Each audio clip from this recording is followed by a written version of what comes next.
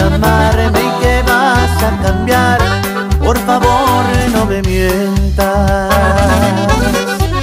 Ahora no intentes regresar a mis brazos, porque la neta a mí ya no me interesas. Se te olvidó que tú a mí me descuidaste y por estas razones